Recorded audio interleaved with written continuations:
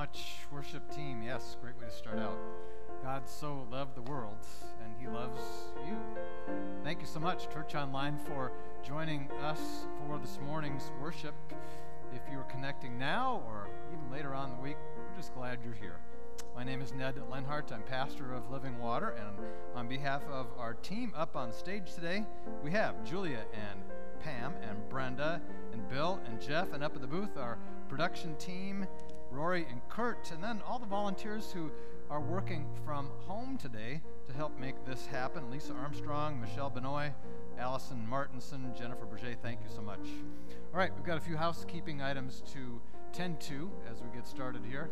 First of all, we need to say a huge thank you to our great team that showed up yesterday uh, to help do a wonderful, successful Ruby's Pantry. We had 44 volunteers, a bunch, and I think we did something like 29, 30,000 pounds of food, baking a couple thousand pounds of potatoes. So it was a busy day, but a great day. Over 200 families served. I'm thinking, looking at all the masks that we see here, we might think of doing like a fun new competition or contest. Say, name that servant. Because it's hard to tell who these people are, but man, they're working hard. So thank you, everybody. See you again next month. All right. If you haven't already, please, sometime during the worship service today, if you're watching this morning, head on over to our Facebook page and say hi so we can say hi back to you. We always love being able to do that a couple times during the worship service. And we also love to hear your prayer requests. Uh, what is what is on your heart? What's uh, what's tugging at you today? What what kinds of things are are you're thinking about, wondering about, asking God about. Our code today, always up in the upper right hand corner, T as in Tom, P as in Pony, 01. So head on over to our app and hit the Slido tile or just go to slido.com and share those requests with us. Worship 2020. You may remember uh, as the pandemic started back in March, we did a midweek offering of worship. We're looking at getting that started again soon, possibly as early as this coming Wednesday at 6:30 p.m. Watch back our website, Facebook page. We'll let you know if that happens. We need to make sure we've got a team that can come together and pull that off. So stay tuned for that. If you have never joined us for coffee after worship, we would invite you to come and try uh, connecting on Zoom. There's the information that you will need right there. And again, that'll be at the close of worship up on the screen again. Uh, love to have you stop by and let us know what's happening in your life these days when we can't meet in person together for worship, but we can meet online. So do that. We'd love to see you. Talking points. That was to be the message series we kicked off today, but then the coronavirus uh, interrupted our plans a bit. Pastor Aaron, known as Sturgy to many of us, uh, he was diagnosed this past week, so we had to come up with a plan B for today. So here's plan B. We're going to talk about one day at a time. God's plan for how God wants to provide for us in a pandemic and beyond a pandemic. And along with that, I want to share the results of uh, a little retreat of renewal time that Joel and I just finished up yesterday 36 hours of coming together and asking the question how can we build into our marriage and strengthen our relationship as husband and wife uh, as we navigate our way through this brand new uncharted territory. I'm going to share with you a few things that uh, we discovered and are recommitting to uh, in the months ahead. That's our message. Again, thank you so much for joining us on behalf of all the team here in house and those who are connecting at home this morning. Uh, we're just so glad that you can be here today because we do all of this, this worship, for one purpose. We want to bring you today, in this time of worship, into the presence of a holy and loving God. That's it. A God who knows you, who loves you, uh, who earnestly desires to have a relationship with you, that you might follow him and know how, how incredibly rich and experienced life can be when lived out in the fullness and the richness of his grace. We say this often at Living Water God didn't create us, you and me, for life all by ourselves. He created us, He built us for community.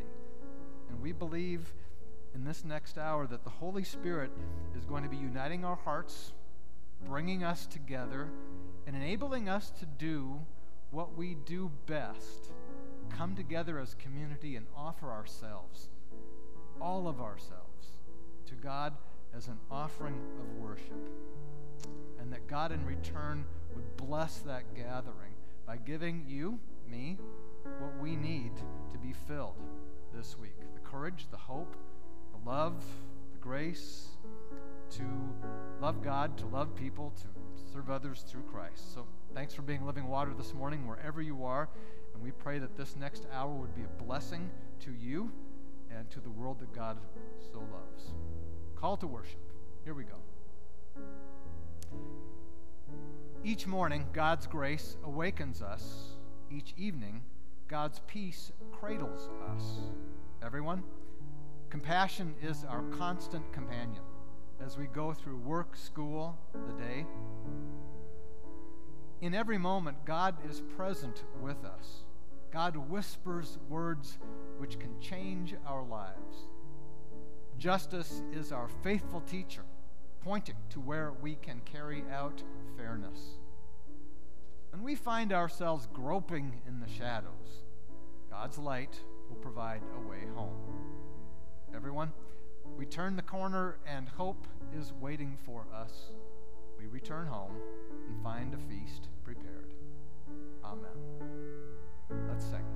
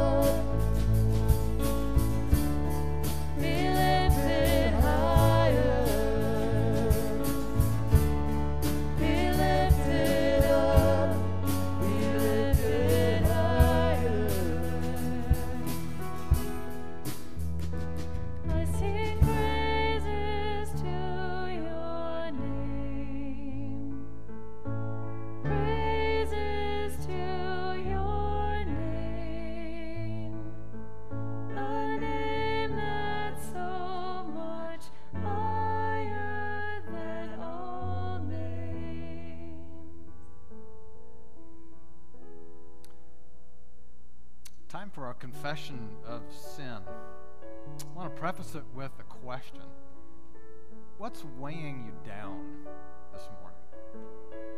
Maybe a lot of things obligations, concerns, worries. One of the things that we know as followers of Jesus is that sin is one of the heaviest weights that we carry with us. Time to clear the deck and give that to God. We've got enough to carry around without adding that to it. God is more than ready to take that from us and remove it, Scripture says, as far as the east is from the west. So let's do that now, shall we? We know, despite our sincere efforts to live in God's way, that all too easily we slip off the path to the kingdom. Trusting that God will answer our prayers and forgive us, let us confess our sins as we pray together. Everyone, forgive us, giver of rest. Enable us to stop putting you to the test so we can open our hypocritical hearts to your healing touch of compassion and hope. As Jesus Christ, our Lord and Savior, has given all for us, may we give ourselves to you confidently, completely, faithfully. Amen.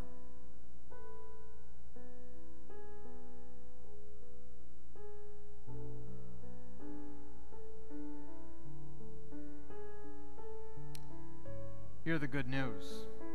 The one who created goodness and beauty is also the one who shows no partiality, but offers grace and peace to all. Everyone, God has heard our prayers and done the very thing we asked forgiven us, healed us, restored us. Thanks be to God. Amen. Time for the peace, and here it comes. The peace of the Lord be with you all. Thank you so much, Janine. Yes, the peace of the Lord be with you all. We encourage you now at this time to share peace with those who are in your bubble, your safe zone, to text a word of peace to those a little further beyond. And if you so like, give a call and share peace to those uh, that you wish to do so verbally. Time for a check in and say hello. We're going to do that in just a second. Before we do, uh, we have our offering time. I was thinking about our offering here at Living Water and what it is as a church. What we're basically saying in this time is God, we trust you. So here's the question I have for you as you consider making your offering this morning to ask yourself, your family, how much do we trust God? God invites us to lean in and trust in this time of offering. Trust Him with our lives, trust Him with our families, and in this time, being very explicit with our finances. There's three options there texting, our app, uh, on our website. They're all the same, they're all easy, simple ways for us to say, God, yes, I trust you. Thank you in advance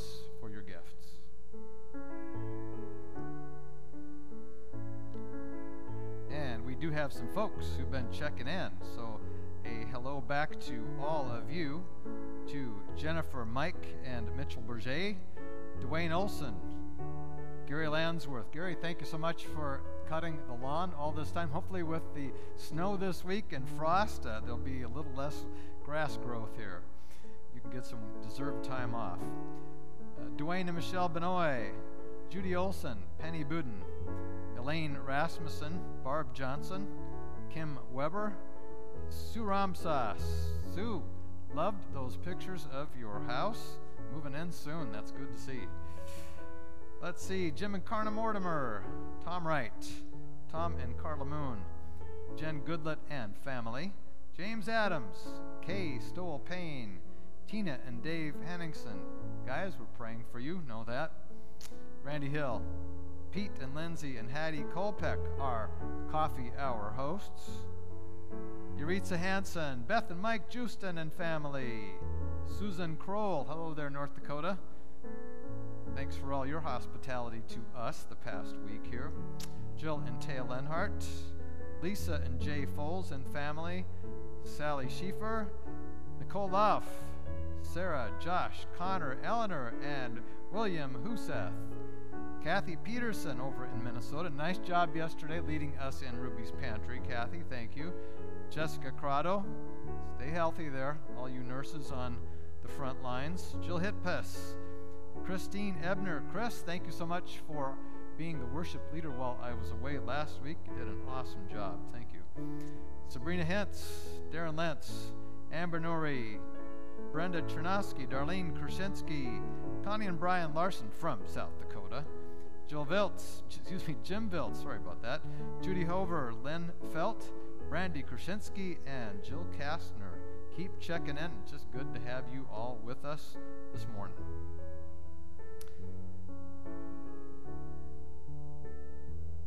Time to pray. Lord, keep your family faithful to you. Everyone, Protect us from evil so that we may serve you by doing good to the glory of your name. We ask this through your Son, Jesus Christ our Lord, who lives and reigns with you and the Holy Spirit, one God, now and forever. And all God's people said, Amen. All right, children's time. We have a special treat for you put together by Lisa Armstrong. So, in advance, Lisa, thank you for your collection and gift. Children's time. Here we are.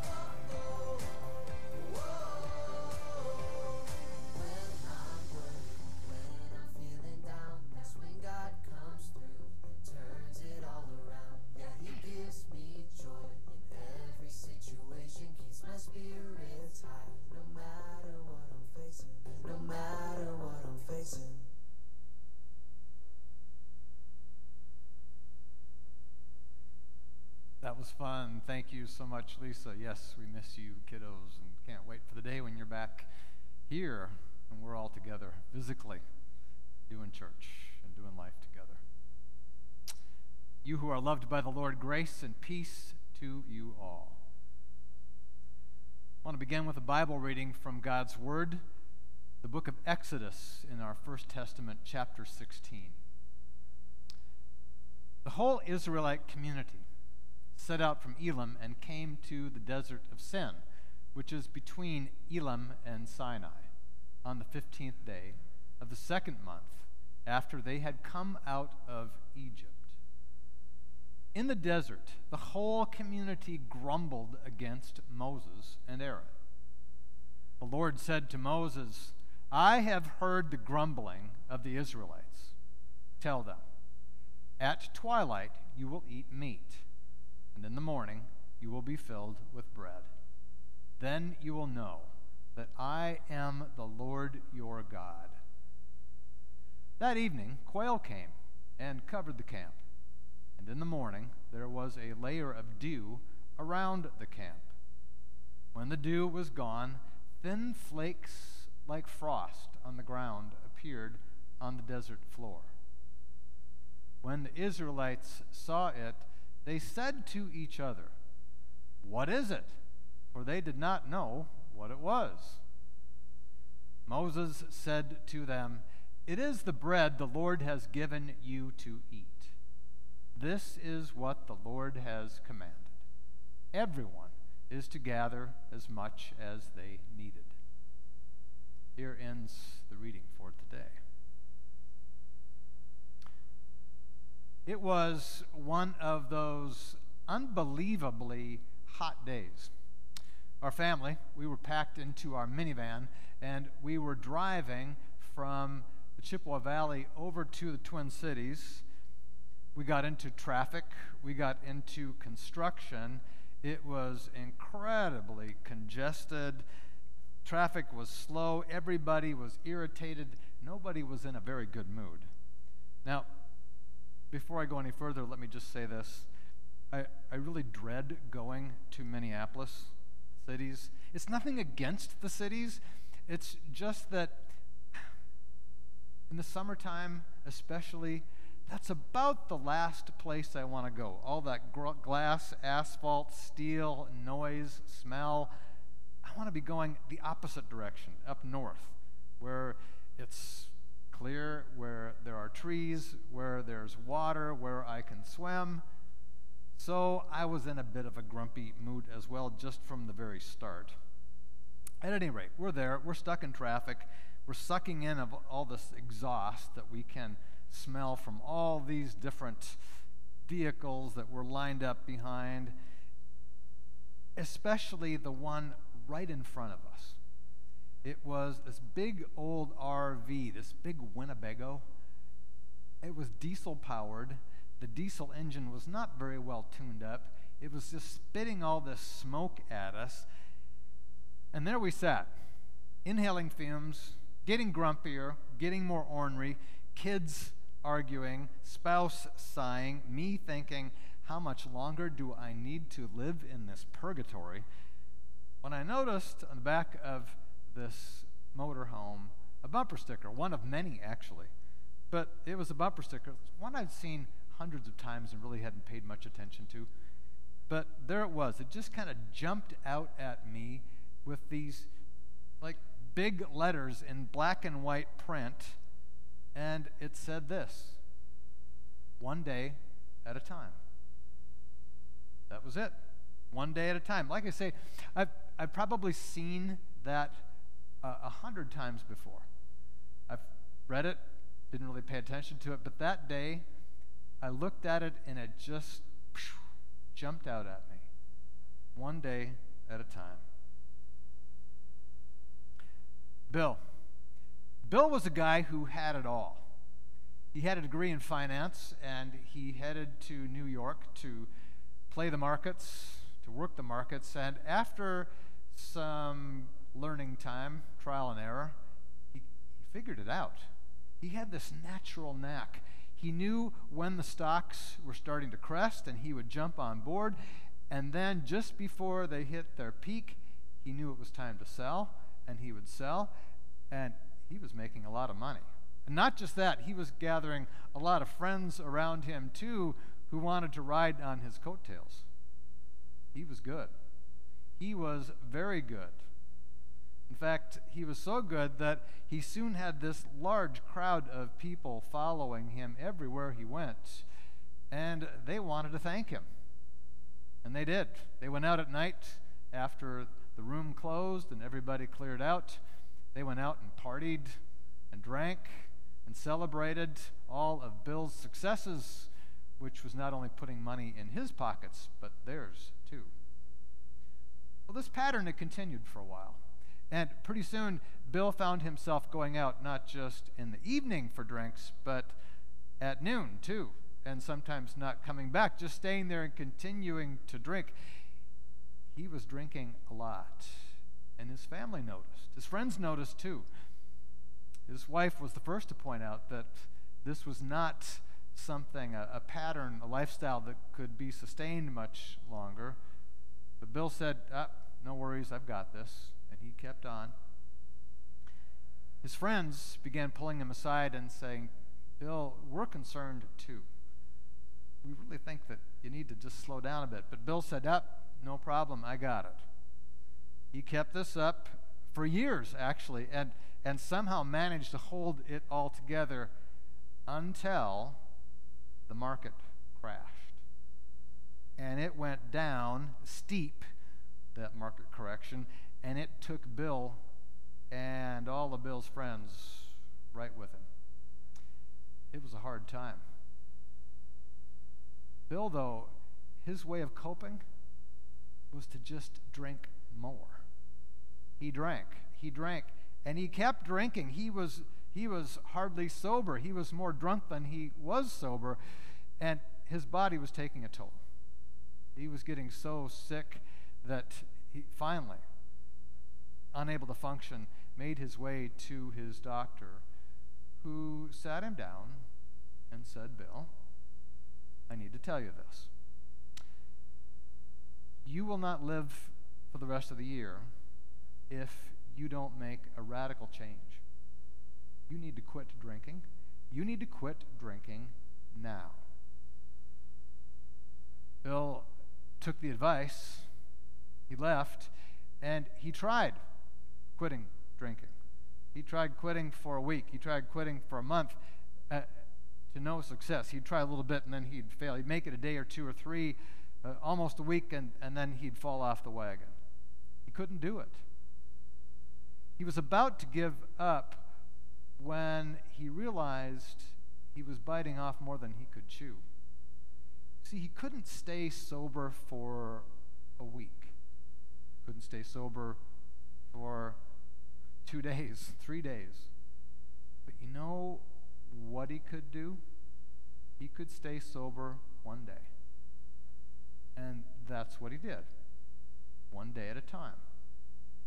He stayed sober one day, made it to the end of the day, and then took off and did the next day. And the next. Not two days at a time, not three days at a time, just one day at a time. And he soon found he could rack up seven days in a row, and he had a week. And then he, pretty soon he had a month.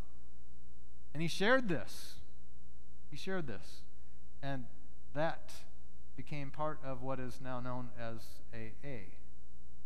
Visit an AA meeting, and you'll learn all about Bill's story and how to live life. Stay sober one day at a time. We just heard a moment ago a story about the people of Israel. They're walking through the desert. They have been relieved from captivity in Egypt, where they had spent hundreds of years, literally. God's chosen people had been enslaved. Now they were free. They were headed through the desert to the promised land, all several hundred thousand of them. But there was one problem they were in a desert. Desert, a real desert, which means there's issues like water and food and shelter. Food was the issue at hand in our reading today there was not enough to eat. The people were hungry and they were grumbling to God. We're hungry. We'd rather go back there and be enslaved than be with you here in the desert heading to this promised land, whatever that is. The Lord, the Lord in his patience hears their grumbling and he provides for them. In the evening, he sends quail, these birds that they can pick up so that they have meat to eat at night. And in the morning, he sends this white, flaky stuff. The people go out there, and Moses says, There it is. It's your bread. God is providing you bread. They walk around and they look at this white stuff. They've never seen this before. They, they reach down, they pick it up, and they hold it up, and they say, What is this? In Hebrew, that's manna. It literally means, What is this? What is this? It's God's way of providing for them. You see, God had a plan. God's plan was this that they would be provided for one day at a time. Because the bread came with this provision. They could go out in the morning and pick here, pick here, pick here, pick as much of this as they wanted to. They could get all they needed for that day. Pick any more than that, try to store it up, put it in a basket, save it for the next day, go and pick enough in the morning for a whole week so that you wouldn't have to do the rest of the week. And something happened. Kind of gross, actually. It got all wormy and smelly and rotten. Now you think, okay, why? Why, why would it do that? Why, why wouldn't God just say, here, take a whole week's worth? Was all part of God's plan. You see, God, God wanted more than anything to have a relationship with his people. Each and every one of those hundreds of thousands going through the desert. He wanted them to rely on him each and every day for what they needed. God said, I promise to provide for you. I promise to give to you. But it needs to be on my terms because I want you to know that I am here for you each and every day. Come to me each day. Walk out your tent and gather up what you need, and I will provide for you. You and I will do this journey together. You do the walking, I'll provide the food. That's how God did it. That's how God planned it. And that's how they made it to their destination. One day at a time. Our Bible reading then leads us next to where Jill and I were this past week. We were out in North Dakota for a few days, back in our home country. That's my dog, faithful dog Sally, with her catch there. She's a good, faithful retriever. We were out bird hunting, her and I, for a few days. Jill and the girls, they were there with helping Grandma take care of Grandpa, as well as readying the home for the change of seasons which comes. On the way back to Wisconsin this week, we stopped, Jill and I did, in Hudson for a mini retreat before heading home yesterday. One of the biggest reasons for the retreat was this we, we knew we needed to take a little time with each other just to check in with each other. Like you, none of us has ever experienced a pandemic before. We're doing this uh, like you for the very first time. It's our first rodeo, and, and, and both of us were sensing you know what? It is really time for us to stop and take a moment and, and take the temperature of our relationship and ask a really important question. How, how are we going to continue to stay strong as a couple? Now, what do we all know? What we're doing now, this is hard, isn't it?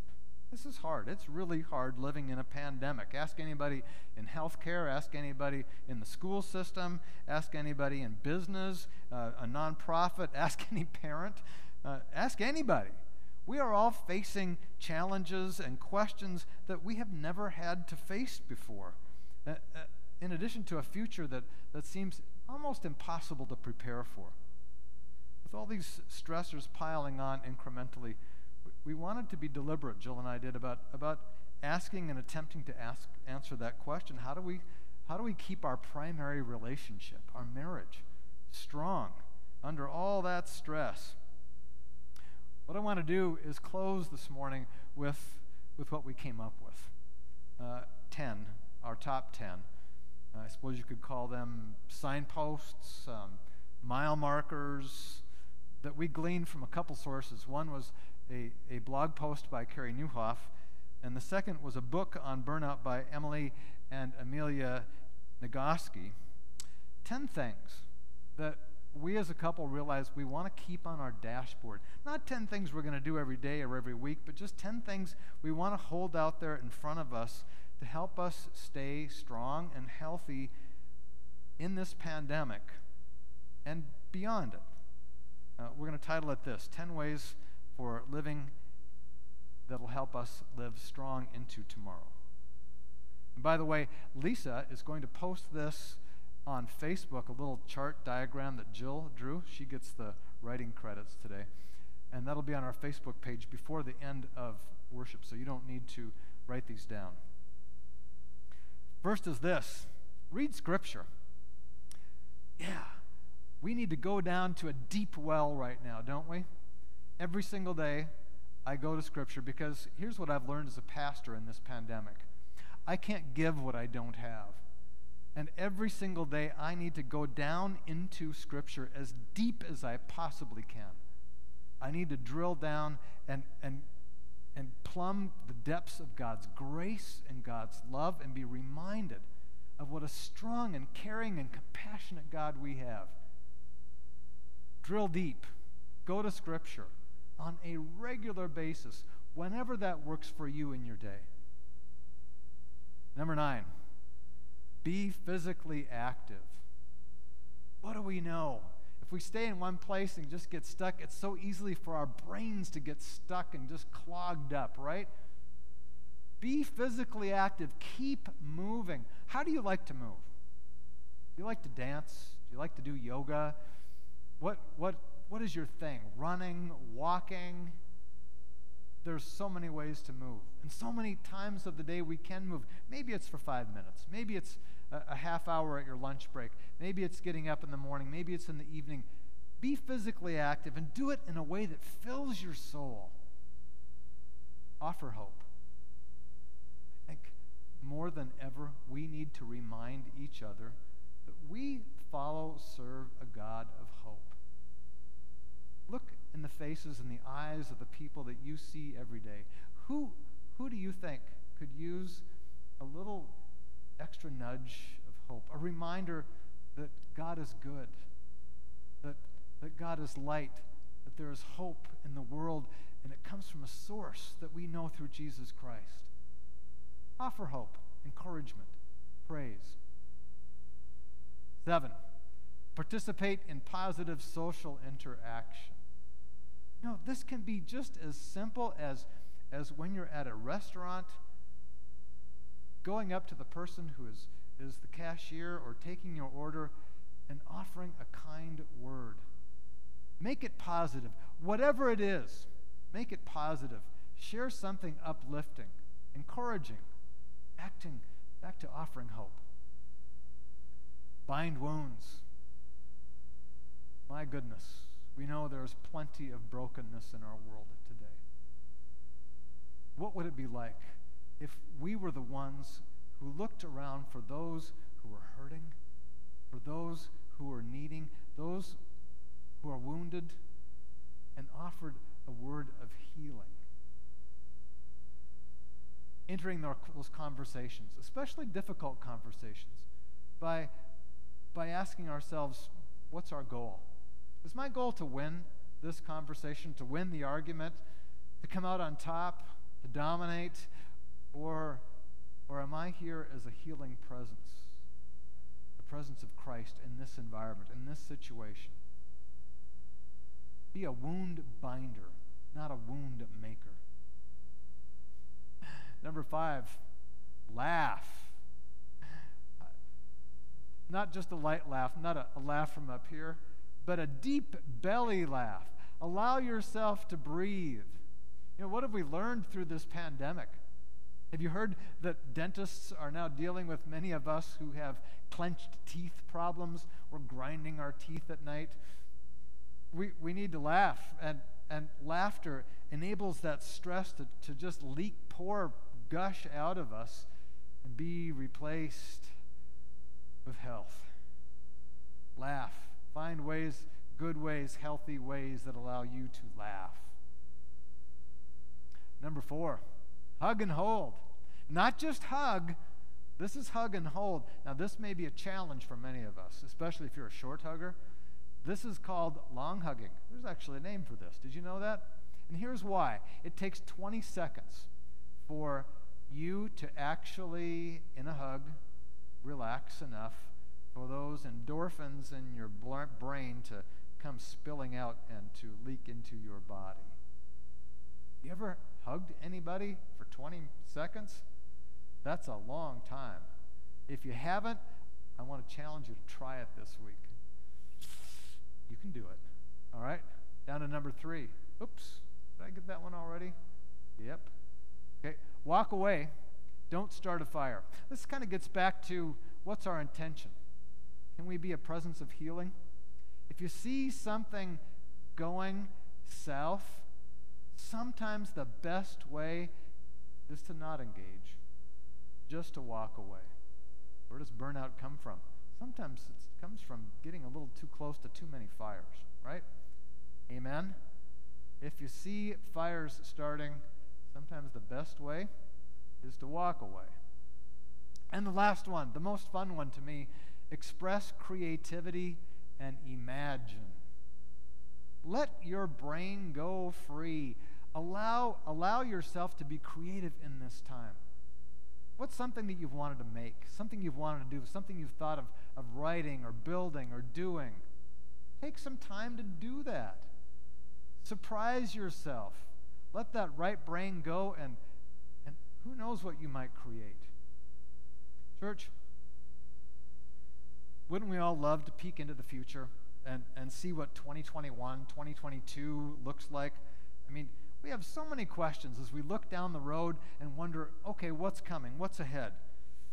You know, while God's word does not describe or, or predict in detail all those kinds of things of what's going to happen, the where, the why, it does offer us clarity in one important area the how. God will provide for us, and here's how God is going to do it. Ready? One day at a time. How will you spend this day? How will you spend this week?